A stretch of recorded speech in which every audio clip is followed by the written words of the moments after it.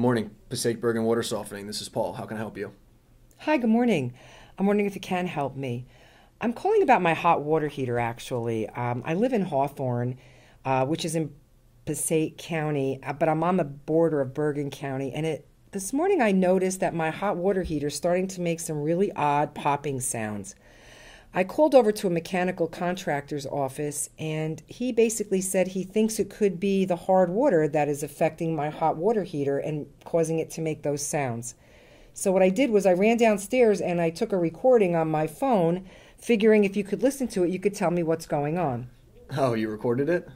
Yeah, I did. I know that's kind of odd, but I thought would be a good idea. Yeah, sure, go ahead.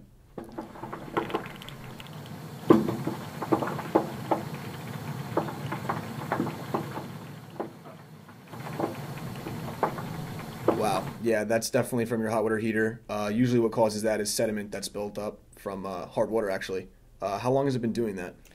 I think a couple of weeks. I'm really not sure. I just noticed it the other day, but it could have been going on for quite some time. Okay. Well, how old is your hot water heater? I think only about five years old, actually. All right. Uh, that's not you know too old. They usually last about ten years, but if it's getting affected by hard water, it's going to be shorter, obviously. Also, uh, your area, Passaic County, is uh, pretty uh, prone to having a higher water hardness, usually 20 grains of hardness, which is you know rather high. Uh, we can come over and do a free water test. Wow, 20 grains, that is high. Okay, that sounds like a great idea. Why don't we schedule that? When can you guys come out? We can come out tomorrow, whatever time works for you. Okay, very good. Thanks so much. Thank you.